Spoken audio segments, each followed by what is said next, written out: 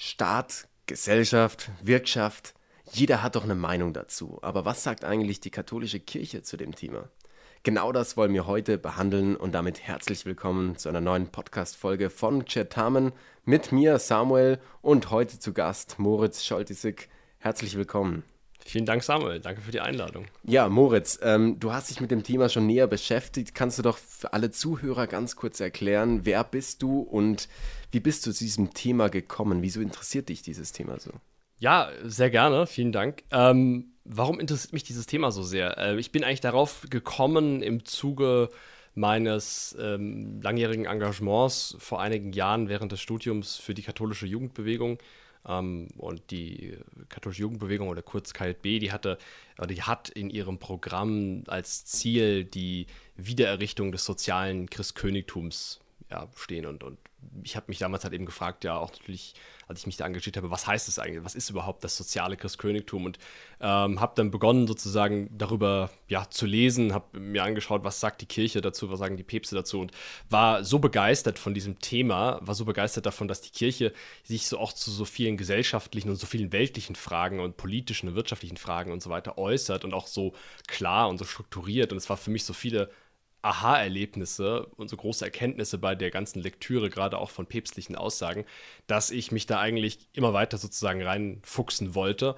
Und das Ganze hat dann letztlich immer weitere ähm, Ausmaße über die Jahre angenommen. Also beispielsweise ähm, habe ich mit einigen Mitstreitern einen ähm, Studienkreis äh, ge geführt. Wir haben einen, eben einen Studienkreis über drei Jahre hinweg gehabt, wo wir päpstliche Enzykliken, also Rundschreiben von Päpste gelesen haben, vor allem zu diesen ganzen ähm, politischen und gesellschaftlichen Themen.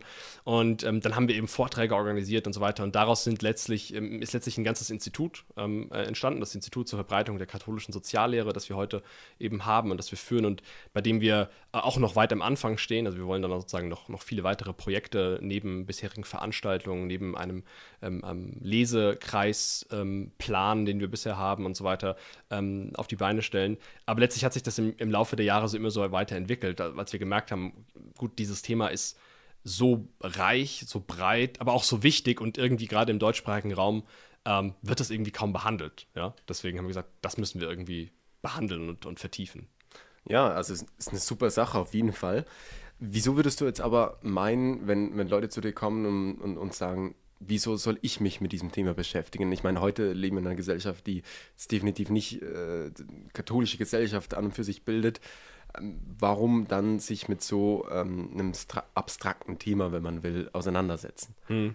Ja, das ist eine, das ist eine ziemlich berechtigte Frage, ähm, weil wir natürlich äh, gerade als Katholiken in der heutigen Zeit vielleicht immer versucht sind, äh, uns zurückzuziehen in so ein, so ein katholisches Ghetto, könnte man sagen, oder in so eine, in so eine, in so ein Safe Space vielleicht auch irgendwie, wo wir uns irgendwie, wo wir einfach in Ruhe gelassen werden wollen, weil eben so die, wir schauen in die, in die Medien und, und ähm, die Welt ist irgendwie nicht nur nicht katholisch, sondern es geht halt auch irgendwie alles in Flammen auf, wortwörtlich. Ja, also es ist irgendwie überall ist irgendwie Chaos, Konflikte, Krieg, äh, Wirtschaftskrisen. Wir haben, äh, wir haben äh, gerade auch aus katholischer Sicht so viele Dinge zu, zu kritisieren, tatsächlich. Der ganze sittliche Niedergang, ähm, die ganzen, die, die, Zerstörung der Familien und so weiter, die hohe Abtreibungszahlen. Also ähm, ähm, die, die Gesellschaften in Europa sind so sehr vom, nicht nur vom katholischen Glauben, sondern auch von, von der Natur des Menschen entfernt, dass es natürlich gerade äh, für einen Menschen, der dem so weit gegenübersteht, in dem so entgegengesetzt lebt, eigentlich die Versuchung immer groß ist zu sagen, okay, okay, ich, ich ziehe mich halt einfach komplett aus all dem zurück,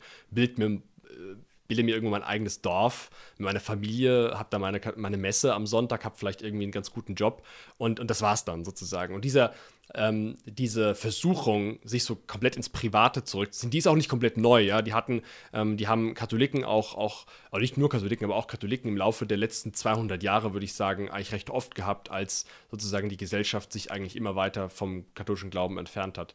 Ähm, aber ich würde sagen, dass das nicht nur ähm, unserer gottgegebenen Aufgabe, äh, die, die, die wir ganz klar im Evangelium lesen können, widerspricht, sondern dass das auch der Natur des Menschen eben widerspricht. Also wir sind nicht dazu zu berufen, ähm, uns einfach zurückzuziehen und nur um unser eigenes Ding zu machen, sondern wir sind eben zu, zu wesentlich mehr berufen. Also das, das kann man vielleicht am besten ähm, verstehen, wenn man sich kurz einfach das Wesen des Menschen an sich anschaut. Also der, der Mensch ist nämlich ähm, von, von Geburt an oder von Schöpfung an, besser gesagt, eigentlich ein soziales Wesen. Also er ist kein asoziales Wesen, er ist kein egoistisches Wesen, sondern er ist immer ähm, in Bezug auch auf den Nächsten ähm, zu, zu verstehen. Also das, das, das beginnt oder das äh, liegt darin begründet, dass ähm, Gott den Menschen als Ebenbild Gottes geschaffen hat. Ja, das, das, das wird im, im Schöpfungsbericht in der Bibel in Genesis explizit gesagt.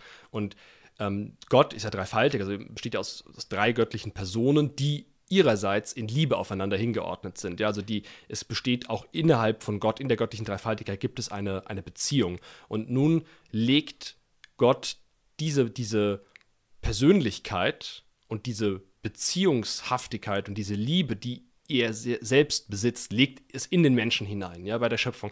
Wir, wir, wir sehen das ähm, ähm, schön veranschaulicht in, in der Sixtinischen Kapelle, dieses weltberühmte, mittlerweile auch leider ja komplett so für die Werbung missbrauchte Bild, wenn, wenn, wenn Adam geschaffen wird und den, den Finger hoch zu, zu Gott streckt. Ja, das ist so, das, da hat Michelangelo das schön zum Ausdruck gebracht, dass, dass als der Mensch geschaffen wurde, er von Anfang an ein soziales Wesen ist, weil er von Anfang an in einer Beziehung steht und zwar natürlich in erster Linie zu seinem Schöpfer, also zu Gott, ja, ähm, aber eben dadurch auch immer in einer Beziehung steht zu allen Dingen, die Gott auch geschaffen hat. Also Gott, ähm, er, er steht auch in einer Beziehung dadurch zu Gott, indem er äh, also letztlich über einen Umweg, nämlich über die anderen Geschöpfe Gottes. Und das sind eben nicht nur die anderen Menschen, logischerweise, also klar, also in dem Fall dann bei Adam dann ganz direkt Eva, die ihm ganz gezielt zur Seite gestellt wird als, als eine Gehilfin, als eine Gefährtin, sondern natürlich auch dann zu den ganzen anderen Dingen, ja, zu den, zu den Tieren, zu den Pflanzen, zu der ganzen Welt. Ähm, wir sehen das beispielsweise auch im biblischen Schöpfungsbericht, wenn, wenn äh, Gott Adam nimmt und stellt ihn in den Garten Eden und sagt zu ihm, er soll ihn bebauen und behüten. Ja, das, das, heißt, er gibt ihm eine Aufgabe, ähm, für den Rest der Schöpfung zu sorgen. Also er gibt ihm eine Verantwortung. Und darin sieht man, dass der Mensch von Anfang an letztlich ein, ein, ein Wesen ist, das eben Verantwortung für den Rest der Schöpfung trägt und eben äh, dadurch sozusagen immer in eine Beziehung steht. Ja, und, und man kann ähm, das nicht leugnen. Das sieht man sozusagen ja auch in jedem Leben eines Menschen. Ein Mensch wird sozusagen ja nicht einfach auf die Erde geworfen, sondern der wird ja auch in eine Beziehung hineingebracht. Er entsteht aus einer Beziehung, er entsteht durch die, der, durch die Sexualität von einem Mann und einer Frau, also letztlich durch, durch auch eine Beziehung von Mann und Frau. Und er wird, er, er sozusagen auch sein Heranwachsen ist ja eine Beziehung. Am Anfang steht er in einer Beziehung zu seiner Mutter. Äh, wenn, wenn der Mensch noch im Bauch ist, wenn er dann geboren ist, kann er am Anfang ja auch nicht alleine leben. Also der Mensch ist sozusagen immer in einer, immer ein Beziehungswesen und er kann auch nicht komplett ohne ähm, diese Beziehung und diese Bindung äh, verstanden werden, weil er, er, er ist schon Person vor diesen ganzen Beziehungen, vor diesen ganzen Gemeinschaften, aber das ist eben nicht zeitlich zu verstehen, sondern er ist sozusagen ähm, an, an sich schon ähm, eine Person für sich genommen, aber er wird erst zu der Persönlichkeit, also zu einer wirklich sittlich guten Person, wenn er sozusagen auch dieser Verantwortung, die ihm von Gott gegeben wird, für die Gemeinschaft, für die Nächsten ähm, nachkommt. Deswegen ist sozusagen ähm, die, die Notwendigkeit für jeden ähm, Katholiken, nicht nur für jeden Katholiken, für jeden Menschen sozusagen, auch für dieses gesamtgesellschaftliche und für, diese, für dieses Umfeld, in dem er lebt, auch irgendwie Sorge zu tragen und sich darum zu kümmern, ähm, ja, ihm quasi wortwörtlich in die Wiege gelegt. Ja, also wir sind füreinander gemacht, das hast du schon mal sehr schön zum Ausdruck gebracht. Eben auch durch dieses Bild ähm, von Michael Angelo, also ja. von, von Anfang an sind wir dafür gemacht, füreinander. Und darum stellt sich natürlich automatisch auch die Frage, wenn wir uns jetzt organisieren in einer Gruppe, eben du hast schon die Familie angesprochen als die erste Instanz, die erste natürliche äh, Gruppe, wenn man so will. Ähm, aber das geht ja dann noch weiter, in, wenn sich jetzt eben Familien miteinander zu einer Gesellschaft äh, organisieren. Wie sieht das dann hier aus? Das ist ja ähm, nicht einfach nur ein Kompromiss, wie von manchen Philosophen gesagt wurde, sondern das ist auch natürlich gewissermaßen gegeben. Was meint die katholische Kirche davon oder was, was versteht man oder was versteht die Kirche von Gesellschaft und vielleicht im weiteren Sinne dann noch von, von Staat? Mhm. Ja, das, du sagst es sehr richtig, es hört nicht bei der Familie auf. Ich glaube, das, das ist ein ganz entscheidender Punkt, denn ähm, ähm, aus dem, was wir gerade eben schon gehört haben, geht ja auch hervor, dass sozusagen die, dass der Mensch nach der katholischen Lehre ähm, nicht individualistisch sein kann oder sein darf. Er, ist, er kann auch nicht kollektivistisch sein, da können wir vielleicht später auch nochmal drauf kommen, aber sozusagen er ist ja, ähm, also er kann sozusagen nicht, nicht, nicht nur für sich genommen werden, aber auch die Familie an sich ist, ist nicht sich selbst genug. Was wir einfach daran sehen können, dass eine, also allein schon deswegen aus ganz praktischen Gründen, weil eine Familie alleine auch nicht überleben kann. Ja, das ist also ganz, ganz äh, banal eigentlich, aber, aber ähm, darin besteht allein schon eine Notwendigkeit. Aber auch aus diesem sozialen Wesen der Menschen heraus, ähm, das geht ja letztlich über die Familien auf jeden Fall hinaus, ganz organisch, ganz natürlich. Und deswegen sehen wir ähm, auch, dass das ähm, ja, auch im Laufe der Geschichte, dass letztlich es nicht einfach nur lose Familien irgendwie nebeneinander her existieren, sondern dass sie sich, wie du so aussagst, sie schließen sich immer zusammen. Ja, und die schließen sich zu einem Dorf zusammen, dann zu einer Stadt und so weiter. Und das wächst und das wächst und, und daraus entsteht erstmal ein, ein Volk. Ja, also ein, ein, ein Volk ist letztlich immer ein, ein gut, da gibt es natürlich, kann man auch lange definieren, aber im, im grob gesagt ist es ja immer letztlich eine, ähm, ich glaube, der, der, der Dominikanerpater Eberhard Welti, ähm, der, der, schreibt so schön ähm, von einer ähm, biologisch-kulturell-geistigen Einheit. Ja, das finde ich einen, einen, schönen Begriff, also wo man, wo man alles drei hat sozusagen. Man hat eine, man hat eine, eine, eine ethnische Gemeinsamkeit, ja, durch die, durch die gemeinsame, ähnliches Aussehen, durch eine ähm, gemeinsame Sprache und so weiter. Man hat eine, eine, geistige Einheit durch gemeinsame Ziele, gemeinsame Werte und so weiter. Und man hat eine kulturelle Einheit, ja, durch, durch wo auch die Sprache natürlich reinkommt, aber die Religion, die, die, die, die Kunst, die Literatur, die Musik und so weiter, ja, Kleidung und Bräuche und so. Und, und diese Einheit, die ähm, kommt ja durch eine Ähnlichkeit und auch durch einen gemeinsamen Raum, in dem man lebt. Und das ist ja logischerweise, das ist das bezeichnet, das, das kommt aus diesem organischen Zusammenwachsen der Familien. Also die Familien wachsen zusammen und irgendwann entsteht sozusagen das, was wir Volk nennen. Ja? Also so eine, eine große Gemeinschaft, eine Gemeinschaft von, von Menschen, die sich sehr ähnlich sehen und die ähm, auch ganz praktisch oder auch ganz konkret tatsächlich miteinander, auch wenn über sehr, sehr viele Ecken und sehr, sehr entfernt, irgendwann auch wirklich miteinander alle irgendwo verwandt sind. Ja? Und deshalb ist ähm, das ist ganz schön. Deshalb ist sozusagen auch ähm, die Liebe zur Heimat im übergeordneten Sinne, also jetzt äh, nicht nur auf das einzelne Dorf bezogen, sondern auf das ganze Vaterland bezogen, auch letztlich eine ähm, ja, Fortsetzung oder ein Bestandteil des vierten Gebotes. Ja, das vierte Gebot heißt, du sollst Vater und Mutter ehren. Und ähm, wir kennen ja auch die Begriffe Vaterland und Muttersprache, da, da, da, sieht man schon die Fortsetzung davon. Und weil sozusagen wir nicht nur mit unseren Vater, Mutter und unseren äh, Geschwistern verwandt sind, sondern weil wir letztlich auch darüber hinaus verwandt sind, haben wir letztlich auch eine ähm, Verpflichtung oder auch eine, eine, eine soziale Anlage, eine natürliche Anlage dazu, auch diese Liebe und diese Ehre und diesen Respekt auch weiterzutragen auf einen größeren Rahmen, ja, auf die Menschen, die uns halt auch im weiteren Sinne verwandt sind, ähm, uns ähnlich sind. Und das ist eben ähm, letztlich ähm, das Volk daraus, das daraus erwächst. Ja, und sicher auch aus einem Stück Dankbarkeit, also weil wir auch was davon bekommen haben. Ja. Also bei deinen Eltern ist es offensichtlich, aber auch vom Vaterland ist es, denke ich, einsichtig, dass wir etwas bekommen haben von diesem Volk oder von dieser Einheit, ja. dass wir profitieren können davon und gleichzeitig dann auch wieder etwas zurückgeben. Genau, genau. Also das, du sagst das richtig, sehr richtig. Es ist immer so eine Wechselbeziehung, ähnlich wie bei der Familie ja auch. Also die, die, die Eltern geben uns ähm, bestenfalls äh, äh, eben ähm, Nahrung, sie geben uns Kleidung, sie geben uns die Sprache, ja, wie gesagt, sie bringen uns das Sprechen bei, sie bringen uns das Laufen bei, ähm, sie, wir, wir, kriegen Kleidung von ihnen, wir, wir kriegen die ganze Erziehung, die ganze Bildung von ihnen. Ähm, und je älter wir werden, desto mehr natürlich wir auch reifen und Selbstverantwortung übernehmen müssen, desto mehr werden wir dann auch ähm, ja, verantwortlich dafür, was zurückzugeben. Ja, bis ins hohe Alter vielleicht hinein, wo man das am schönsten veranschaulichen kann, wenn die Eltern vielleicht mal Selbstpflege brauchen und wir dafür dann erst verantwortlich sind, dann unseren Eltern dann wieder das zurückzugeben, was wir ihnen, was sie uns gegeben haben, als wir klein waren. Und eben, weil ja sozusagen die Eltern ja quasi auch nur so die, oder die Familie, wie man so oft ja auch äh, sagt, die Keimzelle ja auch der, dann der, der größeren Gesellschaft, auch des ganzen Volkes ist, so ist es in dem Fall ja auch. Wie du sagst, wir kriegen dann ja, was kriegen wir von, unser, von unserem Vaterland? Wir kriegen Identität, wir kriegen auch Sprache, wir kriegen Bräuche, Traditionen, wir kriegen eine Kultur, ja, wir kriegen ja auch einen ein Raum, in dem wir leben. Ähm, und das müssen wir dann auch natürlich irgendwo zurückgeben, ja, wenn, wenn es gefragt wird. Also wenn es, also das, so der, der, der ganz klassische Fall ist ja sozusagen dieses, ähm, der, der, Kriegsfall, wo man dann sozusagen für, für die Verteidigung des Vaterlandes einspringt. Aber das ist natürlich auch hoffentlich ein seltener Fall. Bestenfalls äh, muss man den gar nicht erleben. Aber, aber, ähm, aber es hat ja auch viele Kleinigkeiten, ja, indem man dafür, indem man eben sozusagen auch Mitverantwortung trägt. Was passiert in meinem Dorf? Was passiert in meiner Stadt? Was passiert in meiner Region? Ja, was passiert in meiner Straße? Ja, also ganz, ganz simpel. Also das ist, das ist eigentlich ganz lustig, weil man auch gerade bei so Dingen wie Vaterlandsliebe so weiter immer so hochtrabende Dinge denkt, aber es fängt halt bei so vielen Kleinigkeiten halt eben schon an, ja, wie, wie sozusagen ähm, begegne ich den Menschen in meiner Nachbarschaft, wie, wie, wie bringe ich mich vor Ort ein. Und ähm, da sehen wir auch diese wunderbare Verbindung von, von äh, Familie und, und Volk. Und das ist ja letztlich eine ganz lange Kontinuitätslinie, also einmal in der Gegenwart, weil wir logischerweise ganz, ganz viele Menschen haben, die, da, die dazugehören. Äh, sie ist auch eine überzeitliche Linie, weil da, da, gehören die Menschen dazu, die da vor Jahrhunderten da gelebt haben und auch die, die in Jahrhunderten da leben werden. Also das ist letztlich so eine, mal auch so eine überzeitliche Kette. Das ist ganz, auch ein schönes Bild, finde ich. Aber man sieht da auch, dass man die Verantwortung auch nicht nur für die Leute hat, die jetzt leben, sondern auch gegen unseren vor unseren Nachfahren.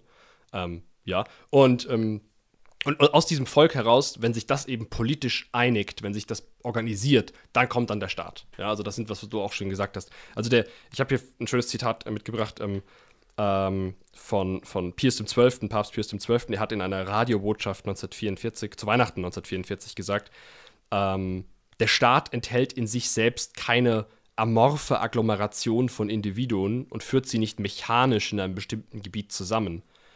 Sie ist und muss in Wirklichkeit die organische und organisierende Einheit eines wahren Volkes sein. Gut, amorphe Agglomeration, so irgendwie unnötig komplex irgendwie ausgedrückt. Ähm, was er damit meint, ist halt, das ist irgendwie keine diffuse Masse einfach von irgendwelchen sich fremden oder irgendwie sich nicht irgendwie unähnlichen Individuen ist, sondern, oder, oder ist auch irgendwie kein, der Staat ist irgendwie nicht so, dass er irgendwie Menschen zusammenpresst oder zusammenzwingt, sondern äh, es, der Staat muss sozusagen eben die, wie gesagt, das finde ich ganz schön, die organische und organisierende Einheit eines Volkes sein. Also es ist letztlich dann, wenn sozusagen eben aus den Familien das Dorf, die Stadt und so weiter und dann die Region und dann irgendwann das Volk entwächst, also wenn man das jetzt mal in so einen zeitlichen Rahmen spannen will, und die dann sagen, und dann sagen die, ja, wir müssen uns äh, ähm, eben zu einem Staat zusammenschließen, müssen uns politisch einigen, dann sozusagen erwächst daraus äh, eben der Staat. Das ist jetzt idealtypisch so ein bisschen zeitlich aufgespannt, in der Praxis passiert das manchmal auch zeitgleich und oder, oder, oder ja, manchmal auch gar nicht. Ja, es gibt ja auch äh, Völker, die gar keinen Staat haben tatsächlich, ja, oder, oder manchmal einen haben, manchmal einen nicht über die Geschichte hinweg. Aber das ist letztlich so der, das ist so die, die, die deswegen ist der, der Staat ähm, ist letztlich so die Krönung des, des, der weltlichen Gesellschaftsform. Also ähm, er ist sozusagen der Abschluss der Oberste. Da findet sozusagen ähm, die, die gesamte politische Einheit ihr, ihre, ja, ihr, ihren Abschluss sozusagen. Genau, das ist eigentlich das richtige Wort. Das ist vielleicht manchmal heutzutage gar nicht so einfach für uns Katholiken zu schlucken, vielleicht, die Erkenntnis, weil wir natürlich auch häufig eben vor Augen haben, wie die Staaten sich heute häufig verhalten. Also wenn sie, weiß ich nicht, schlechte Abtreibungsgesetze einführen oder irgendwie die Islamisierung befördern oder ja, oder solche Dinge tun, die auch gerade ähm, dem eigenen Volk oder auch der Kirche irgendwie überhaupt nicht zugutekommen, dann haben wir oft dadurch ein sehr negatives Bild vom Staat. Und der Staat kann natürlich auch, das haben wir auch in den letzten paar, paar hundert Jahren ja oft auch gesehen, ja wirklich schlimme Dinge vollbringen. Aber er ist nicht in sich dadurch schlecht, ja. Also logischerweise, jeder Mensch kann ja auch schlechte Dinge tun, aber dadurch wird er nicht in sich schlecht. Ja? Und auch der Staat ist letztlich ähm, eine von Gott gewollte, weil, äh, weil nämlich natürliche Einheit, ähm, zu die die Menschen zusammenfinden. Und ähm, dadurch können wir ähm, nicht einfach sagen, wir lehnen den Staat grundsätzlich ab, sondern wir können einen konkreten mhm. Zustand eines Staates oder eine konkrete Form des Staates und so weiter ablehnen, aber sozusagen nicht die Idee an sich, weil sie eben organisch erwächst aus den, aus, aus letztlich aus den Familien.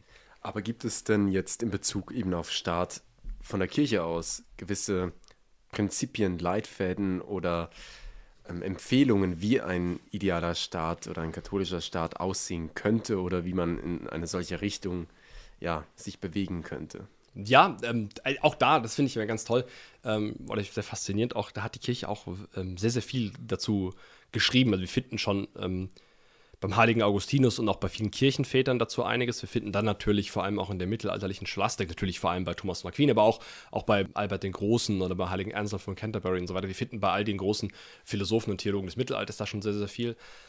Ähm, auch bei vielen, die wir heute leider gar nicht mehr so wirklich kennen. Und das setzt sich dann so ein bisschen fort, ja. In, in Spanien ist im, im, im, Spätmittelalter und der Renaissance ähm, die, die, die Spätscholastik entstanden. Ähm, ähm, die Schule von Salamanca ist hier so ein Begriff und so weiter. Und dann kommen dann irgendwie großartige spanische Dominikaner und Jesuiten, ähm, Vitoria und Suarez und so weiter, die, die machen dann auch, die, die forschen dazu auch. Und es ist wirklich, also es ist wirklich ganz großartig zu sehen, dass die Kirche eigentlich über die gesamte Geschichte hinweg sich immer auch intensiv mit diesem Thema befasst hat. Und natürlich dann ganz besonders nochmal im 19. Jahrhundert, als dann sozusagen katholische Staaten oder das, was man, oder, oder auch ähm, ja, Staaten, die sich explizit, ja, die sich explizit auf die katholische Kirche beziehen, ähm, ja, großenteils auch schon untergegangen sind oder irgendwie im Angriff unter Feuer standen, könnte man sagen.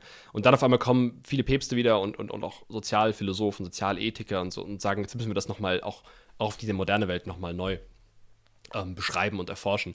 Und ich glaube, da kann man zwei Sachen erstmal grundsätzlich unterscheiden. Einmal ähm, äh, hat da, haben da die Vertreter der Kirche ähm, den Staat naturrechtlich beschrieben. Das heißt, sie haben erstmal gesagt, okay, was muss der Staat von Natur aus sein oder wie ist er überhaupt von Natur aus und was für Rechte hat er, was für Pflichten hat und so weiter. Und dann nochmal speziell, was, ähm, wie ist dazu im Unterschied oder, oder wie ist da als Fortsetzung besser gesagt, ähm, ist nochmal der Staat als katholischer Staat zu verstehen.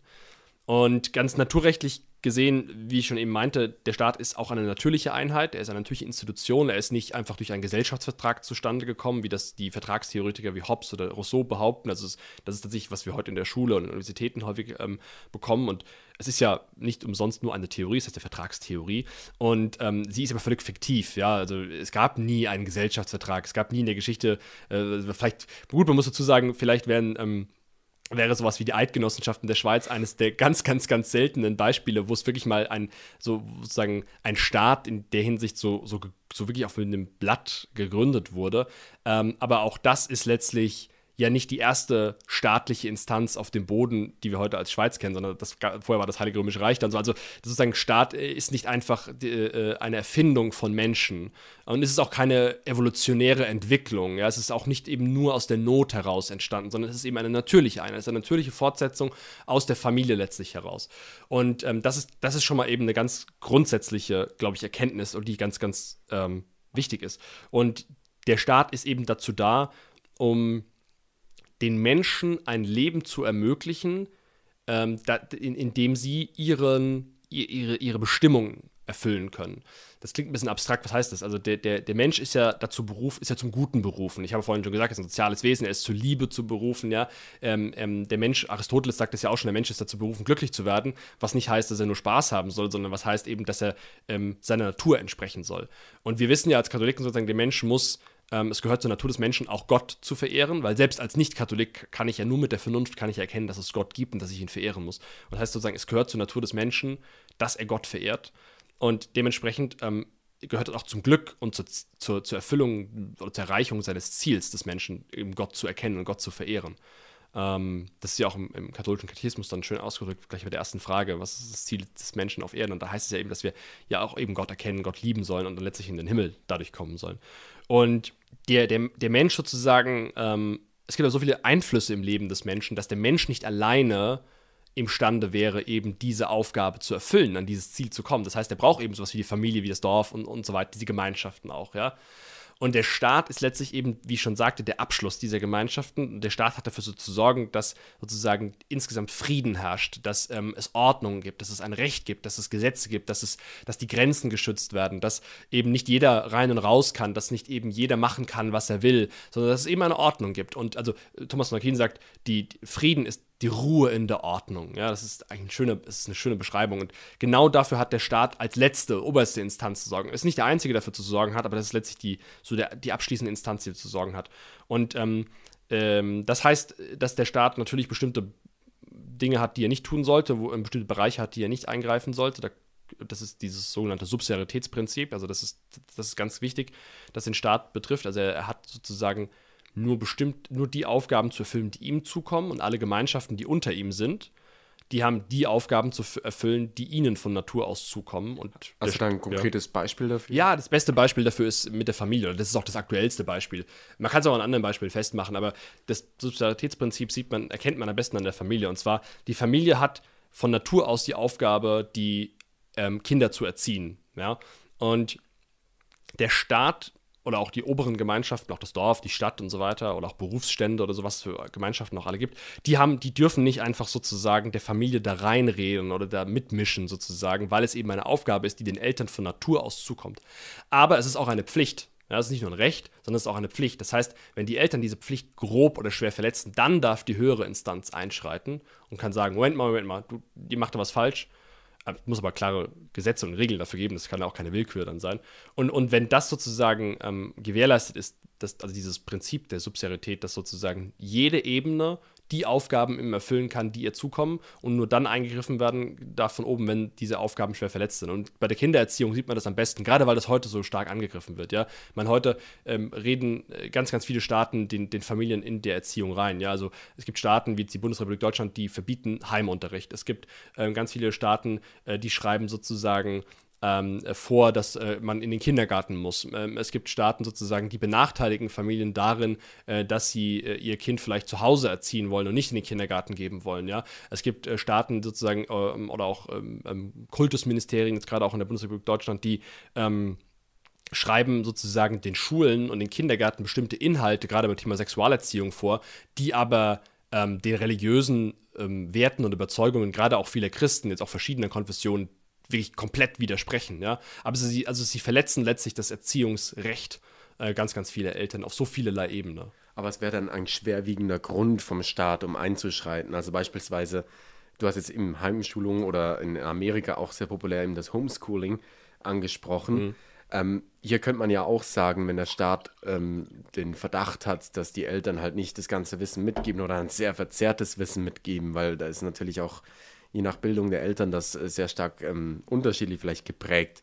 Dann wann darf der Staat eingreifen oder dann wäre es so notwendig, dass jetzt hier jemand sagt, Moment, ähm, die Kinder müssen an eine staatliche Schule, weil sonst wird das mit der Bildung nichts. Also ähm, ich kann das leider jetzt nicht, nicht komplett im Detail beantworten, weil ähm, diese ganz konkrete Ausgestaltung auch dieser Gesetze oder dieser Regeln ist auch immer ein bisschen davon abhängig, ähm, was sind die aktuellen Herausforderungen, in welchen Umständen leben wir, auch von der Kultur, von den, von den Traditionen in dem jeweiligen ähm, ja, in dem jeweiligen Land. Ja, Weil generell, ähm, das ist auch, was Leo der 13. sagt, ähm, es gibt generell, generell hat ein Volk letztlich auch die, die Freiheit, im gewissen, bis zu einem gewissen Sinne, ähm, sich zu eine, eine, eine Regierungsform selbst zu geben, sofern sie eben dem Gemeinwohl, das, das, das dem Ziel, dem Zweck äh, ähm, des Volkes und auch, auch, auch des Staates dient, ähm, aber auch und auch der Gerechtigkeit dient. Also wenn solange die Staatsform in sich gut ist, können, können äh, die Völker sozusagen das sich selbst wählen. Thomas McQueen und auch viele Vertreter der, der Kirche haben zwar auch sehr klare Empfehlungen und sehr klare Vorstellungen davon, wie die besten Regierungsformen aussehen. Also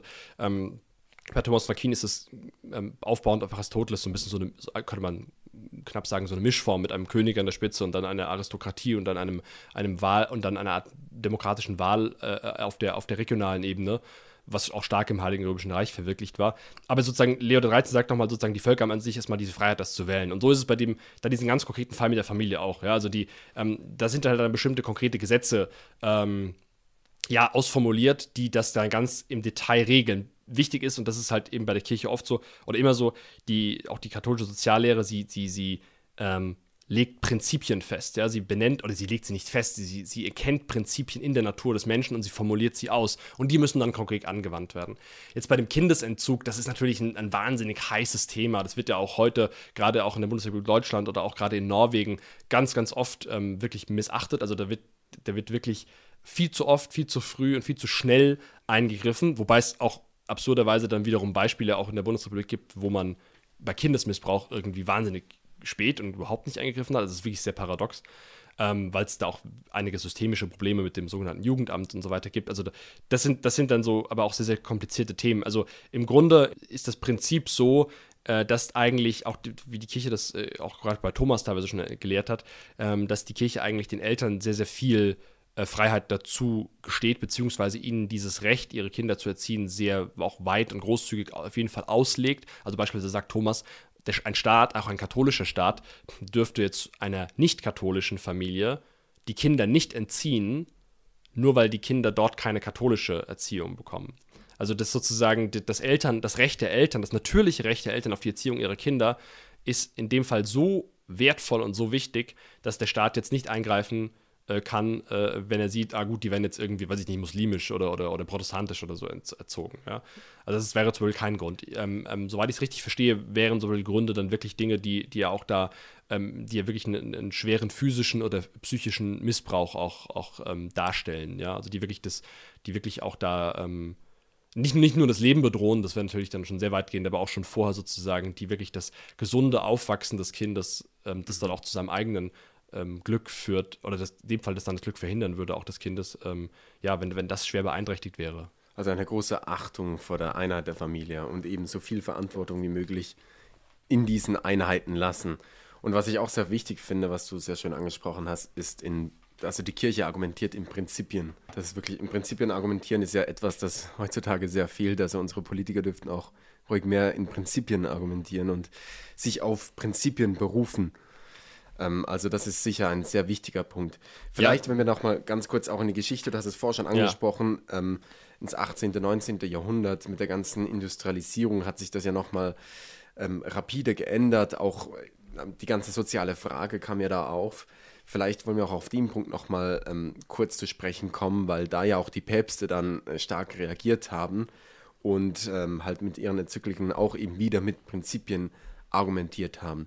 Vielleicht da ganz kurz kannst du nochmal für alle Zuhörer kurz zusammenfassen, um was ging es da bei der sozialen Frage und was war genau die Problematik, beziehungsweise was für verschiedene Strömungen sind daraus entstanden und was, hat, was haben die Päpste geantwortet?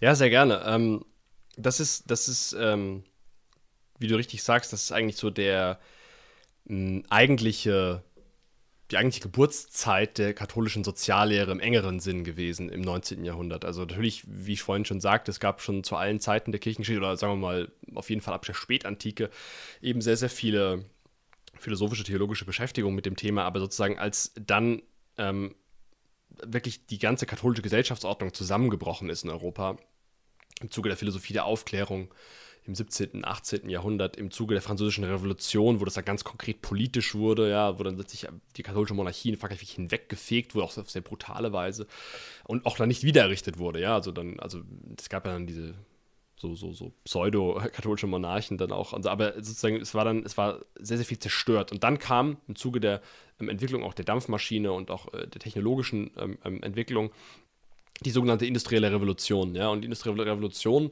hat eben in ganz, ganz vielen Ländern Europas auch zu ganz großen sozialen, wirtschaftlichen äh, Verwerfungen geführt. Ja, also es gab eine wahnsinnige Massenarmut in ganz, ganz vielen ähm, Landstrichen in Europa. Ja, viele Bauern hatten auf einmal keine Arbeit mehr, mussten in die Städte ziehen, um dort irgendwie in neuen Fabriken zu arbeiten. Oft mussten dann auch die Frauen und Kinder in diesen Fabriken arbeiten.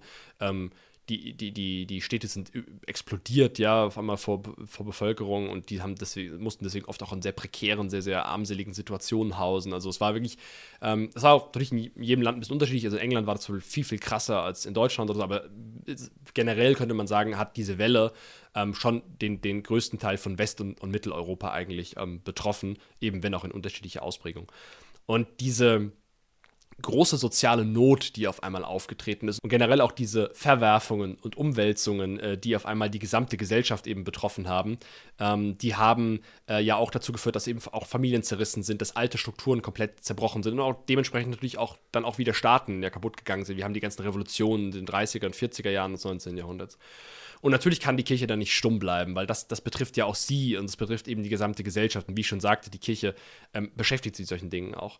Und ähm, es gab dann zwei Reaktionen, könnte man sagen, aus, von der kirchlichen Seite. Einmal, die war, die war ganz praktisch, die kam eigentlich interessanterweise zuerst, ja. Also es war erst eine praktische Reaktion, bevor die theoretische Ausarbeitung nochmal kam. In der Regel, ja. Und zwar gab es dann ähm, relativ viele Priester, aber auch generell auch katholische Laien, die haben auf einmal angefangen, auf diese soziale Not zu reagieren. Ja, ganz bekannt beispielsweise im deutschsprachigen Raum ist der Priester Adolf Kolping. Ja, der hat ähm, 1850, äh, wenn ich es äh, richtig im Kopf habe, äh, den katholischen Gesellenverein gegründet, ein Gesellenhospize für, für Handwerker auf Wanderschaft gegründet. Ja, ähm, wir haben den auch in, in, in Deutschland sehr bekannten äh, sogenannten Arbeiterbischof äh, ähm, Freiherr von Ketteler aus Mainz, der den katholischen Arbeiterverein mitgegründet hat, ähm, der dann auch die Zentrumspartei mitgegründet hat und auch selbst Reichstagabgeordneter war. Und ähm, ähm, ja, äh, wir haben hier äh, eine ganze Menge an, an, eben wie gesagt, Priestern und Laien, die sich auf einmal dann eben für die Arbeiter, für die Bauern, also für, gerade für diese beiden Stände eben sehr, sehr stark eingesetzt haben. Also eben durch, durch, durch, durch Vereine, durch Bildung dieser Schichten, durch Armenspeisungen, durch ähm, ähm, zum Teil auch, das hat ein, ein, ein, Lehrer namens Breuer auch gemacht, der hat so Spar- und Darlehensvereine ähm, gegründet, wo dann sozusagen auch ähm, verarmte Arbeiterfamilien Kredite bekommen haben, zinsfreie und so weiter. Also das war, das war ähm, wirklich eine ähm, unglaublich ausgereifte, unglaublich detaillierte praktische Antwort auf die soziale Frage, um eben die Not der Menschen zu lindern, ja.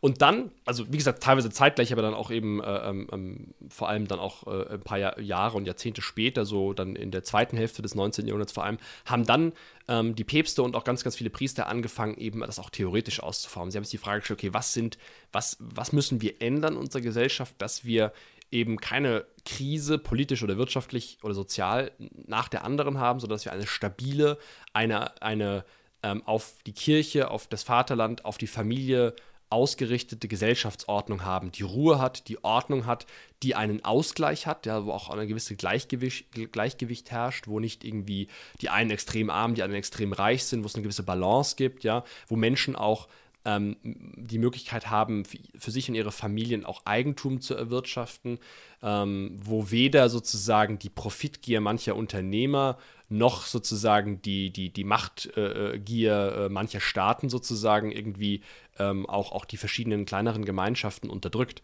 Und diese ganzen Fragen haben dann letztlich ähm, vor allem ihren ersten Höhepunkt gefunden in der Enzyklika Rerum Novarum von, von Papst Leo XIII. Ähm, in den 1880er Jahren, die wirklich eine ganz große man könnte sagen, eine richtige sozialleere Welle irgendwie ausgelö ausgelöst hat. Denn auf einmal waren irgendwie, war so wirklich die, die, Antwort da der Kirche auf die soziale Frage. Natürlich hat, die nicht, hat diese Enzyklika nicht alle Fragen beantwortet, die es gab, aber sie hat letztlich, wie du auch schon dann nochmal schön gesagt hast, sie hat bestimmte Prinzipien klargemacht, hat die nochmal verdeutlicht, die zum Teil auch schon vorbereitet wurden von anderen Priestern, auch gerade Bischof Ketteler hat da auch viel dazu beigetragen. Und, und, dann auf einmal hatte man diese lehramtliche Aussage und dann hat das letztlich dann noch mal weiter dazu geführt, dass auf theoretischer wie auf praktischer Ebene äh, ähm, die Kirche und auch eben ähm, Laiengruppen dann eben in diesem Bereich gewirkt haben. Ja, kurze Frage dazu. Die Enzyklika Rerum Novarum, wann ist denn die rausgekommen? Ich glaube 1891. Ja, und könntest du kurz noch ausführen im Rerum Novarum, was war denn jetzt neu in dieser Enzyklika? Ja, also natürlich ganz streng genommen war natürlich nichts neu, weil die Kirche natürlich nichts Neues erfindet, wenn ich so, wenn ich so äh, spitzfindig sein darf, äh, ähm, weil sozusagen sie ja immer auch eben, wie gesagt, anknüpft an das Naturrecht und an die Tradition. Aber natürlich diese Anwendung war natürlich dann was Besonderes. Also, ähm, und zwar, weil man eben ähm, äh, vor allem auf diese aktuelle Situation eingegangen ist. Also der ähm, Papst Leo XIII. erklärte eben, es gibt diese wirtschaftlichen Missstände, unter anderem die durch die Profitgier vieler Unternehmer irgendwie entstanden ist, die viele äh, Arbeiter und Bauern und, und auch viele Familien ausgebeutet haben und die letztlich nicht auf, auf die Familien und auf die einfachen Menschen Rücksicht genommen haben, sondern die letztlich, ja, die wirklich ausgequetscht haben wie Zitronen, ja, um, um was so platt zu sagen. Und ähm, dann ist in der Reaktion darauf eben der Sozialismus entstanden und der Sozialismus verführte die Menschen aber dazu ähm, oder wiegelte die Menschen auf, ja, gegen, gegen zur Revolution gegenüber allen Beständen, gegenüber dem Staat und so weiter. Das heißt, wir hatten so eine, eine, eine schlechte Aktion und eine schlechte Reaktion und der Papst beschreibt das und erklärt dann eben, gut, wir brauchen aber eigentlich eine katholische Reaktion darauf. Wir brauchen letztlich eine, die Möglichkeit, Eigentum zu bilden, wir brauchen die Möglichkeit, ähm, eben äh, äh, ähm, die, die, die, die Spaltung der Gesellschaft in Arbeitnehmer und Arbeitgeber oder in Arbeit und Kapital äh, sozusagen ähm, wieder aufzulösen, wieder zurückzuführen in eine einheitliche, äh, ähm, ähm, ja, eine einheitliche Ordnung. Das, da ist so ein Stichwort in der Soziallehre, ist da die sogenannte Entproletarisierung. Also das ist so, dass eben wir nicht mehr diese, diese, diese Klassen haben, äh, ähm, die gegeneinander kämpfen. Ja? Und das sehen wir sowohl im Kapitalismus als auch im Sozialismus, ist diese Begrifflichkeit da, ja, dass man die, die, die Besitzenden und die Besitzlosen sozusagen. Und ähm, die Kirche will nicht, dass die gegeneinander aufgewickelt werden, sondern sie will letztlich, dass das zusammengeführt wird in gewisser ja, Weise. Versucht diese zwei Seiten zu harmonisieren, aber wie genau soll denn das geschehen oder wie kann man ja, diesen Klassenkampf vermeiden. Also das, das Interessante ist ja, dass, dass die ähm, äh, Soziallehre generell ja sowohl den Kapitalismus als auch den Sozialismus in, auch in, jeweils in ihren verschiedenen Spielarten sehr stark kritisiert. Ähm, also beim Sozialismus dann natürlich auch in der, in der Endstufe des Kommunismus natürlich, ähm, der besonders scharf auch verurteilt wurde.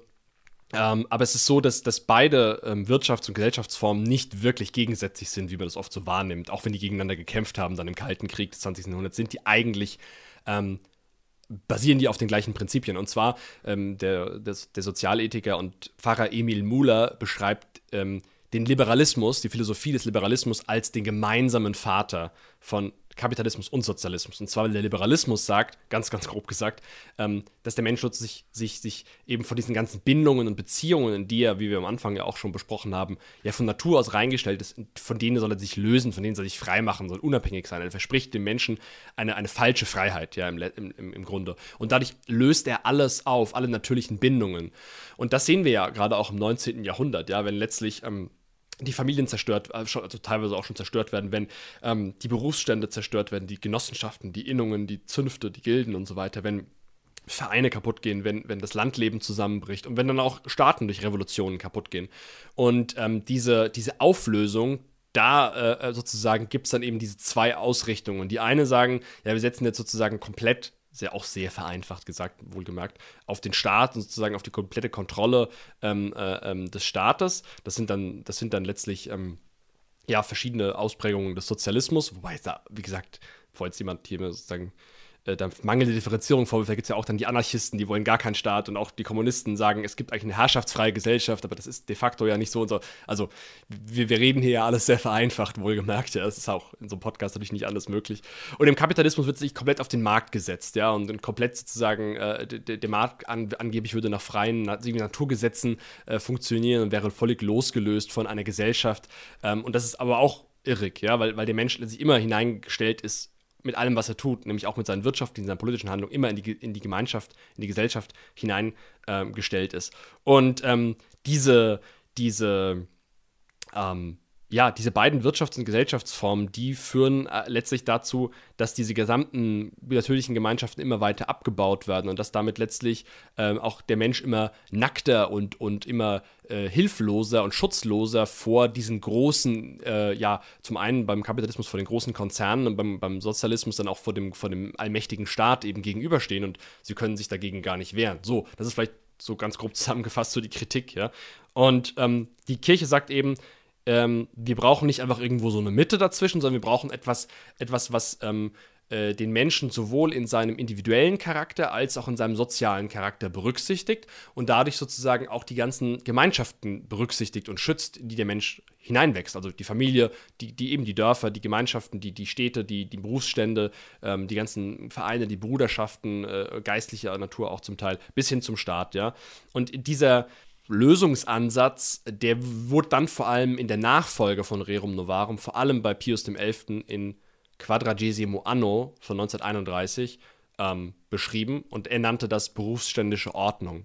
Ähm, ich kann das auch nur ganz, ganz kurz skizzieren. Also das ist eben, wie ich eben schon meinte, das ist letztlich eine, der, ein, der Aufbau einer Gesellschaft, in der ein großer Teil ähm, von wirtschaftlichen und politischen Entscheidungen die auch gerade das Berufsleben betreffen und damit ja nicht nur wirtschaftliche Fragen, sondern auch ganz viele soziale Fragen und kulturelle Fragen betreffen, dass die sozusagen in den sogenannten Berufsständen ähm, geklärt werden. Also nicht vom Staat einerseits, aber auch nicht vom Markt andererseits. Also sie werden sozusagen auf einer Ebene geklärt, die ähm, auch sehr lokal ist zum Teil, die sehr nah am Menschen ist, dadurch auch einen sehr starken sozialen Aspekt hat, aber sozusagen auch eben nicht irgendwie der Kontrolle von der einen oder der anderen Seite unterworfen ist, sondern letztlich ein, ein, eine eine Institution ist, in der Arbeitgeber und Arbeitnehmer zusammenfinden sollen. Wäre das so etwas wie eine Gewerkschaft oder ist es doch nochmal abzugrenzen? Das ist eine gute Frage, ähm, weil es nämlich tatsächlich davon abzugrenzen ist, weil eine Gewerkschaft ja in der erster Linie die Interessen von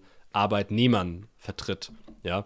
Und ähm, der, der Berufsstand sagt eben, wir wollen diese Spaltung eben nicht in, in Arbeitnehmer und Arbeitgeber und in Arbeit oder in Arbeit und Kapital. Natürlich, also gibt es eine Unterscheidung, aber wir wollen diese Leute zusammenfinden in einem Berufsstand, der dann so Dinge klärt wie soziale Absicherung, wie Berufszulassung, Berufsverbot und ganz, ganz viele betreffenden Fragen, die entweder in manchen in kapitalistischen Gesellschaften einfach komplett dem Markt und damit auch dem Unternehmen und damit auch letztlich dann leider oft auch der Profitgier überlassen werden oder die in äh, nicht nur sozialistischen Gesellschaften, sondern ja auch, auch in Gesellschaften wie jetzt in der Bundesrepublik Deutschland und so weiter ja auch dann dem Staat überlassen werden, sozusagen, ja.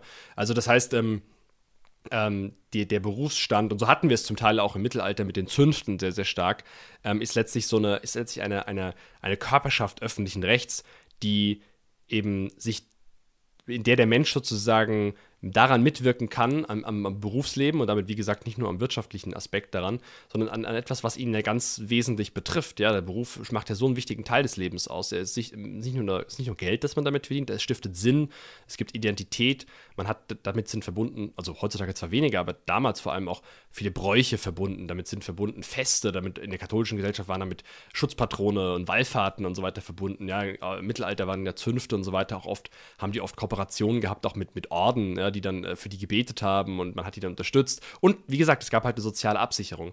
Und das ist, wie gesagt, sehr, sehr grob gefasst. Ähm, aber äh, Pius XI. hat das dann 1931 äh, in dieser Enzyklika so beschrieben und hat damit eben auch nochmal, ähnlich wie Rerum Novarum, so eine wirkliche, ja, so eine Welle ausgelöst. Ja, dann gab es auf einmal wirklich ganz, ganz viele Schriftsteller, aber auch Politiker oder Bewegungen, die haben gesagt, hey, das müssen wir irgendwie umsetzen. Klar, dann kam halt eben natürlich Zweiter Weltkrieg und auch die ganzen Zerstörungen dadurch und dann die ganze Neuordnung Europas und so weiter. Und dann war diese Idee, wurde zwar nach dem Zweiten Weltkrieg nochmal aufgegriffen, aber dann hat sich die ganze Arbeitswelt verändert, hat sich die Wirtschaft verändert und dann ähm, ist letztlich auch diese Idee leider erstmal gestorben. Wobei ich behaupten würde, sie ist eigentlich wieder recht aktuell, weil wir heutzutage eine neue soziale Frage haben. Aber es dann andere Leute, also du hast schon eben angesprochen, dass die Reaktionen darauf von katholischer Seite sehr positiv waren. Wie waren denn Reaktionen aus anderen Gebieten? Haben Sozialisten, Kapitalisten darauf reagiert? War das für die, haben die das als Gefahr gesehen für, für ihre Ideologie oder wie waren da die Reaktionen? Also es gibt natürlich einen, einen Vorwurf, der, der, von verschiedenen Seiten gemacht wurde, ähm, dass, dass, diese Idee der berufsständischen Ordnung halt einfach irgendwie mittelalterlich und damit irgendwie abzulehnen sei. Also das, das, ist, so ein, das ist so ein Vorwurf, der gibt es ja eigentlich im Grunde bis heute, wenn man das Thema, also das wird ja heute nicht äh, wirklich groß diskutiert. Wir sprechen heute darüber, was sehr schön ist. Aber auch heute, bis heute sozusagen sagen viele, ja, das ist irgendwie völlig veraltet. Wobei ja auch da Pius XI. nicht irgendwie sagt, oh, das ist, wir müssten genau das herstellen, wie es im Mittelalter war, sondern er, er, er stellt auch Prinzipien vor, ja. Und eben, wie du es vorhin ja auch so schön gesagt hast, das ist das, man will nicht in das Rad der Zeit zurückdrehen, sondern man muss mit diesen Prinzipien versuchen, eine zeitgemäße Anwendung zu finden. Das ist sehr, sehr schwierig, wenn man sich einen Text aus von 1931 durchliest, weil man eben sieht, wie, wie wahnsinnig drastisch sich die gesamte Wirtschafts- und auch Sozial- also das Wirtschaftsleben, die Sozialwelt und, und das, die Politik und so weiter verändert hat seitdem. Aber ähm, ich glaube trotzdem, wenn man diese Prinzipien sich im Kern einfach mal nochmal durchdenkt, dass man sie schon auf die heutige Zeit auch anwenden kann. Und dadurch ist dieser Vorwurf, dass das alles irgendwie rückständig sei, den es eben von verschiedenen Seiten gab, ähm, ja, meines Erachtens äh, irgendwie auch, der ist irgendwie ziemlich billig, ja, man muss schon ein ernstes Argument da finden. Ähm, Klar, ansonsten gab es natürlich auch Kritik, äh, die ernster war, ja. Also ich meine, wie gesagt, äh, es gibt Leute, auch bis heute, das ist ja auch in katholischen Kreisen, die, die, ähm, die hängen eher libertären und kapitalistischen Ideen an und die sagen dann, ja, das sei ja, ähm, das sei ja sozialistisch. Was es aber nicht ist tatsächlich, weil man eben, weil man eben nicht dem Staat die ganze Macht überträgt, sondern die Berufsstände haben das. Und, äh, und dann, äh, äh, klar, die, ich kenne diese Kritik zwar nicht, aber man könnte theoretisch eher von sozialistischer Seite nicht kritisieren, ähm, dass, dass, äh, ähm, ja, dass das irgendwie zu viel Freiheit und Eigenverantwortung vielleicht für die unteren Ebenen sei. Und ähm, die, diese Kritikpunkte gab es und gibt es, wie gesagt, auch manchmal.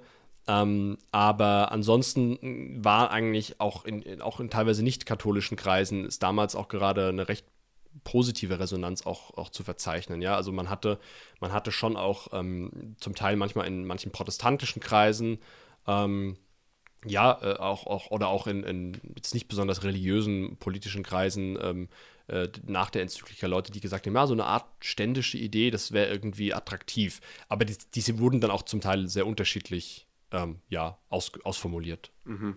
Ja, also die, die Mittelalterkeule, die wird ja gerne geschwungen, also der, der ist nicht neu. Aber ich finde es schon eine große Herausforderung, gerade heutzutage das anzuwenden, weil ja Berufsfelder oft heute ineinander vermischen und ja gar nicht mehr so klar definiert sind, wer macht was und ähm, ja, darum nach sicher auch eine große Herausforderung sind, wie man genau diese Einheiten dann organisieren würde. Aber das Prinzip ist auf, auf jeden Fall interessant. Ja. Also ich finde auch in Bezug auf, ich habe ja die beiden Enzykliken auch, auch noch gelesen. Jetzt sehr gut. Vorbereitung auf diesen Podcast. Ich bin zwar trotzdem noch ähm, äh, sehr überfordert mit, der, mit den ganzen neuen Begrifflichkeiten oder eben auch ja. an diesen Prinzipien zu denken. Ja. Aber ein schönes Zitat fand ich auch jetzt von Papst Pius XI., gerade in Bezug auf Eigentum, weil das ja auch so ein Streitpunkt ist zwischen Kapitalisten und äh, Sozialisten, beziehungsweise dann Kommunisten, die das dann ja, ähm, ja da, darin schon ein Problem sehen. Und die Kirche sagt ganz klar, dass der, der Mensch halt ein, ein Recht auf Eigentum hat. Aber Papst Pius XI. schreibt hat, auf der einen Seite führt die Leugnung oder Abschwächung der Sozialfunktion des Eigentumsrechts zum Individualismus oder mindestens in seine Nähe und auf der anderen Seite treibt die Verkennung oder Aushöhlung seiner Individualfunktion zum Kollektivismus und lässt wenigstens dessen Standpunkt bedenklich streifen. Also eben, er sagt, es gibt sozusagen Eigentumsrecht, aber auch irgendwo eine Pflicht zu einer sozialen Funktion, also dass man, dass man halt immer noch auf ein Gemeinwohl hingerichtet ist. Das finde ich tatsächlich ein sehr schöner und sehr wichtiger Gedanke auch. Ja, kann ich, kann ich völlig zustimmen. Das ist auch, ähm, wenn man das vielleicht kurz ergänzen kann, also die, äh, du hast völlig recht, der Satz ist sehr schön und, und der, der, der bezeigt auch nochmal, dass die katholische Soziallehre, wie sie von den Päpsten und auch dann von vielen Theologen formuliert wurde, ähm, sehr balanciert ist. Sie ist sehr ausgewogen. Also sie entspricht nicht, äh, sie, sie, sie, sie entspricht sehr stark den, der menschlichen Natur und der Natur auch und dem Wesen auch von den ganzen natürlichen Gemeinschaften. Sie ist eben nicht so ein, ähm, ja, so eine starre Idee, die man irgendwo am Reißbrett äh, entworfen hat. Sie ist keine Utopie oder auch Dystopie, die man irgendwo einmal mal so niedergeschrieben hat. Sie ist irgendwie nicht äh, irgendwie von irgendeinem verrückten äh, äh Denker irgendwie um drei Uhr morgens äh, irgendwie, weiß ich nicht, irgendwie mal so niedergeschrieben worden, sondern sie entspringt wirklich der Natur des Menschen und auch der geschichtlichen Erfahrung. Und das ist das Schöne auch dran. Also deswegen, sie, die, die, die katholische Soziallehre ist eben weder kapitalistisch noch sozialistisch, sie ist weder individualistisch noch kollektivistisch, wie du gerade gesagt hast. Also sie ist ähm, ähm, sozusagen weder äh, ähm, befürwortet sie sozusagen alles, was den Staat, alle Eingriffsrechte des Staates, aber sie, sie lädt den Staat auch nicht komplett ab. Beim Markt ist es ähnlich. Also es ist sozusagen eine wirklich, ähm, ja, es ist eine wirkliche Fokussierung darauf, dass, dass, dass ähm, jeder Mensch, aber auch jede Gemeinschaft, jedes Ding den Platz bekommt, der ihm von Natur aus zusteht und dementsprechend auch die Aufgaben, die Rechte und die Pflichten bekommt, die ihm von Natur aus zustehen. Und das sehen wir dann auch in der ganzen Wirtschafts- und Sozialordnung, ja. Also das, das ist, glaube ich, eine, eine, eine, ähm, eine ganz wichtige Erkenntnis, die man dann auch sozusagen auch aus dieser Lektüre, auch wenn man die vielleicht, das völlig recht, ich, habe es auch mehrfach gelesen, auch wenn man das gerade zum ersten Mal liest, vielleicht noch nicht so viel hängen bleibt, aber muss man halt dann nochmal dazugreifen. Aber auf jeden Fall sehr schön und wie gesagt, ich kann es Ihnen nur empfehlen, die Enzyklingen auch zu ja. lesen, sich damit auseinanderzusetzen, weil das sicher für jeden Katholiken ein, eine wichtige Aufgabe ist, sich auch mit der Gesellschaft als solches auseinanderzusetzen. Nun, jetzt ist es ja so, dass wir zwar darüber theoretisieren können oder darüber diskutieren können, nur finden wir diese Gesellschaft ja noch nicht vor. Also was kannst du jetzt ähm, Katholiken, ganz besonders vielleicht auch jungen Katholiken empfehlen, was wir tun können, um in diese Richtung hinzuarbeiten oder einfach auch sonst aktiv zu werden in der Gesellschaft, die vielleicht noch nicht ganz diesen Prinzipien mhm. entspricht? Das ist ein, ein, riesiges Fass natürlich und da kann man auch nur ein paar Punkte natürlich nennen. Ähm, das, das Theoretische ist, glaube ich, sehr wichtig, ähm, weil man sozusagen dadurch die richtigen Prinzipien kennenlernt, aber natürlich ist es nicht jedem gelegen oder nicht jeder mag das oder nicht jeder liest das gerne, wobei ich trotzdem sehr empfehlen kann, so Dinge wie Rerum Novarum, Quadragesimo Anno zu lesen, ähm, aber ähm, vielleicht auch, ich habe von Eberhard Welti oder Emil Muhler oder, oder Jakob Fellermeier, das sind auch so Priester, die dazu einiges geschrieben haben, die, die sich auch lohnen, mal nachzusehen. Ähm, also es lohnt sich schon, da auch sich weiter zu bilden, natürlich, um diese ganzen Dinge erstmal kennenzulernen. Wir haben ja hier innerhalb von, von, von kürzester Zeit so, so, so einen Schnelldurchlauf gemacht, äh, durch, durch eine riesige Zahl an doch relativ dann auch, wenn man zuerst mal hört, komplexen Themen zugegebenermaßen. Ähm, aber ich glaube, man kann auch unabhängig von der Theorie ähm, schon auch ganz praktisch bestimmte Dinge tun, die vielleicht jetzt noch nicht dem entsprechen, was äh, über die berufsständische Ordnung geschrieben wurde oder was auch noch nicht ähm, der Idee eines Staates entspricht, der sich voll und ganz auf die katholische Lehre bezieht oder der voll und ganz Christus als König huldigt. Das sind alles Visionen, das sind keine Utopien wohlgemerkt, das sind Visionen oder Fernziele, könnte man sagen. Und wir müssen natürlich eine ganze Menge an ganz kleinen, konkreten Schritten ähm, abhandeln, ablaufen, ähm, um zu diesem Fernziel zu kommen. Ob wir das Fernziel, ob die Verwirklichung dieses Fernziels jemals erleben werden, das, äh, ja, das hängt von Gott ab, das wissen wir natürlich nicht. Und es gibt von, von, von also der Satz wird dem heiligen Ignatius zugeschrieben, ist ein sehr schöner Satz, finde ich, der, der besagt, dass man ähm, immer so beten soll, als ob alles von Gott abhänge und immer so handeln soll, als ob alles von einem selbst abhänge. Und ich finde, das kann man auch in sich in dem Fall als so einen Grundsatz nehmen. Also natürlich muss man beten, man muss auch dafür beten, dass ähm, dass unsere Gesellschaft heilt, dass unsere Gesellschaft nicht mehr so fragmentiert, nicht so polarisiert ist, dass sie nicht so ähm, wirklich so auch innerlich zerrissen ist, wie wir das jetzt hier fast Jahr für Jahr schlimmer auch irgendwo wird. Äh, wir müssen dafür beten, dass unsere Gesellschaft sich wieder bekehrt natürlich, dass die Menschen katholisch werden. Ähm, ja, und auch, dass diese, dass diese vielen Nöten und Krisen, also wir haben ja heute nicht nur materielle und physische, sondern auch viele psychische äh, Nöte, ja, psychische Krankheiten ohne Ende, Depressionen, Selbstmorde und so weiter. Sie haben wirklich eine neue soziale Frage und das sind Dinge, ähm, da sind wir, da haben wir ganz, ganz viele Möglichkeiten, was zu tun. Und ich glaube, ähm, es ist immer gut, etwas zu tun, was eben den Menschen wieder in natürliche, in organische Gemeinschaften hineinstellt. Also diese, diese, diese Einsamkeit, diese Zerrissenheit, ähm, diese ähm, Polarisierung, die das aufhebt, ja, die, die den Menschen wieder zurückführt zu einer ganz konkreten, authentischen Beziehung. Ich glaube, das ist etwas, das ist noch gar nichts Katholisches, das ist einfach ganz Natürliches erstmal. Aber ich glaube, das ist extrem wichtig in der heutigen Zeit. Ähm, gerade auch nach der Corona-Krise haben wir das gesehen, diese, diese, diese wahnsinnige Vereinsamung und auch von Menschen, ja. Und, und gerade auch die Digitalisierung trägt ja auch dazu bei, dass sozusagen Menschen teilweise glauben, sie seien in irgendwelchen Beziehungen zu anderen Menschen oder, in, oder, oder, und hätten soziale Kontakte, aber sie sind ja gar, die sind nicht real, ja, sie sind virtuell. Und ich glaube, das ist ganz, ganz wichtig, dass wir Dinge tun, die eben reale Kontakte wiederherstellen, die, das, die den Menschen in einen sinn- und identitätsstiftenden Bindung, einen sinn- und identitätsstiftenden Zusammenhang wiederstellen und ihm eine Aufgabe geben, die sinnvoll ist, die, die, die ihn mit anderen Menschen in Kontakt bringt, die konstruktiv ist. Das ist jetzt noch abstrakt gesprochen, aber ich finde das erstmal einen guten Grundsatz, weil da kann man, wenn man sich diesen Grundsatz mal so überlegt, dann kann man eigentlich wahnsinnig viele Dinge finden. Und ich würde sagen, ähm, da, können, da können kulturelle Dinge dazugehören. Also es ist toll, wenn, wenn, wenn Menschen heutzutage, also wenn Katholiken auch sei es jetzt eben bei sich vor Ort im Dorf oder mit, mit, mit, mit ihrer Jugendgruppe oder mit irgendeiner anderen Laiengruppe äh, äh, beispielsweise Dinge tun wie ähm, die, die Kultur wiederherstellen, Menschen wieder zu, zu unserer heimischen, zu unserer christlichen Kultur zurückzuführen in der Musik, also durch Gesangsrunden, durch, durch äh, Volkstanzrunden, durch äh, Laientheaterstücke, durch klassische Konzerte, durch Runden für Handarbeit, ähm, ja, ähm, aber auch sozusagen den Bezug auch zur Natur wiederherstellen, durch Wandergruppen, vielleicht durch Wallfahrten, ähm, durch, durch die, die Pflege auch von, von, von ähm, Kulturdenkmälern oder, oder, oder Kriegerdenkmälern oder Friedhöfen bei sich im Dorf. Also, dass man auch, da, da schlägt man oft auch mehrere Fliegen in eine Klappe. Das sind christliche Dinge, das sind, das sind äh, ähm, ähm, Dinge, der, äh, Symbole der Heimat, das, da stellt man Gemeinschaft her, da, da ähm, tut man etwas Geselliges, man, man macht etwas was Körperliches, man macht aber auch etwas, was eben ähm, wirklich die, die, auch ein Absolat der Schönheit ist. Ja, man macht die, bringt die Schönheit wieder zurück.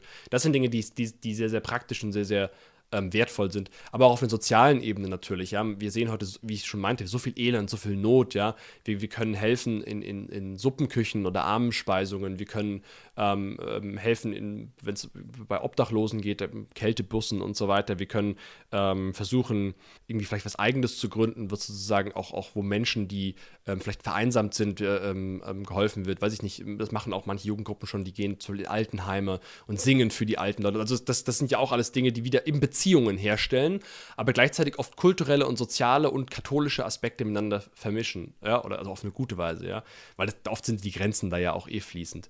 Äh, und dann natürlich kann man auch ähm, sich politisch einbringen und das äh, ist auch vor Ort, glaube ich, ganz, ganz wertvoll. Also äh, gerade in seinem Stadtteil, in seinem Dorf, da gibt es Bürgerinitiativen, manchmal gibt es da Kommunalpolitik, wo man nicht mal auch einer Partei unbedingt beitreten muss, aber man kann trotzdem sozusagen vielleicht Dinge tun, ähm, die dem Menschen vor Ort zugutekommen. Und ähm, also Pius, der, der heilige Pius X. sagt mal äh, sinngemäß, dass der Traditionalist der, der Menschenfreund ist. Ja? Und ich glaube, das ist etwas, was man sich auch wieder in Erinnerung rufen kann. Wir, wir müssen die Menschen auch sein, die den, die, die den anderen etwas Gutes tun, ja, Werke der Barmherzigkeit dadurch auch ganz, ganz konkret. Und ähm, das geht eben in allen Bereichen, wie gesagt, Kultur, Soziales, Politik. Ähm, das geht aber auch äh, gerade bei jungen Leuten vielleicht auch im aktivistischen Bereich, ja, dass man auch dem Gegner Grenzen setzt. Ja, man, man, man sorgt dafür, dass man auf Demos geht, auf Kundgebungen, dass man auch dem, dass man auch zeigt, wir, wir als Katholiken, auch, auch gerade junge Katholiken, wir sind präsent, wir sind da, ja, wir, wir, wir, wir lassen nicht zu, ähm, dass, das, dass das ungeborene Leben, ähm, dass die Familie, dass das unsere Heimat, ähm, dass auch diese eben diese natürlichen Gemeinschaften, dass das alles ständig zerstört und angegriffen und lächerlich gemacht wird und auch so besudelt wird, ja, sondern wir, wir stehen selbstbewusst äh, ähm, auf der Straße auch, ja, das, ich glaube, da, da gibt es ja auch viele Möglichkeiten.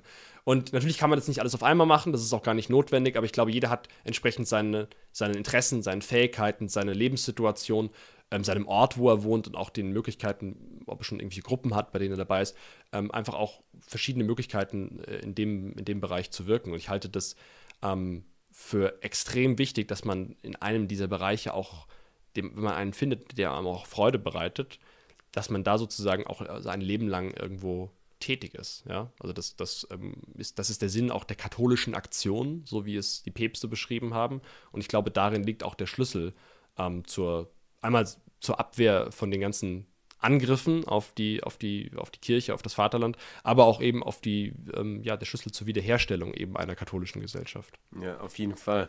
Also das waren auf jeden Fall sehr viele schöne Sachen dabei. Ich denke, da kann jeder irgendetwas für sich rausnehmen. Ja, oder auch noch weiterdenken natürlich. Oder natürlich ja, weiterdenken. Ja. Ich meine, schlussendlich ist auch dieser Podcast einer dieser ähm, ja, ähm, Aktivitäten sozusagen, sich einzubringen, ja. eben einen eigenen Podcast zu machen und so auch wieder diese Themen an, an den Tagestisch zu bringen. Ja, wenn ich kurz noch einhaken darf, vielleicht, vielleicht ähm, ähm, gibt es ja da auch äh, Ideen, die den Leuten jetzt beim Hören kommen. Äh, ja, also vielleicht hört das jemand den Podcast und sagt, ja, ich habe da eine Idee und äh, ja, je nachdem, wo, ähm, wo er sich das anhört, kann er vielleicht da ja auch in irgendwelche Kommentarfelder oder so mal was reinschreiben. Also, weil ich, ich finde es auch immer interessant zu hören, wenn, wenn Leute sich mit diesen Dingen beschäftigen, äh, merken sie manchmal, ah, wir können ja eigentlich das und das tun. Und manchmal sind das ja auch selber, ich habe ja, manche Beispiele, die ich genannt habe, waren ja auch sehr banal aber sie sind eben viele kleine Schritte und bis man mal dann äh, zu großen, zum großen Fernziel letztlich kommt. Ja. Das ist so, viele ja. kleine Schritte führen zu großen Veränderungen. Ganz genau. Und ähm, schlussendlich denke ich eben, wie wir schon gesagt haben, um das nochmal zusammenzufassen, es ist für jeden wichtig, sich mit diesem Thema auseinanderzusetzen. Dann unbedingt vernetzt euch, tauscht euch über dieses Thema aus und schlussendlich setzt katholische Initiativen äh, in die Welt. Ähm, ja, und werde dadurch aktiv. Richtig. Moritz, vielen, vielen Dank. Die Zeit ist jetzt schon fortgeschritten und wir wollen es nicht für alle Zuhörer zu lang werden lassen. Das war natürlich ein kurzer Abriss, aber du hast doch diesen Schnelldurchgang gut gemeistert. Vielen Dank. Ja, danke dir fürs ja, Kommen und gerne. allen Zuhörern bitte gerne auf Chat Hamen abonniert den YouTube-Kanal ähm, und äh, teilt unsere Videos. Das hilft Chat Hamen sehr und hilft eben auch die katholische Gesellschaft einem Stück Stück näher zu kommen. Vielen herzlichen Dank und einen wunderschönen Tag euch allen noch.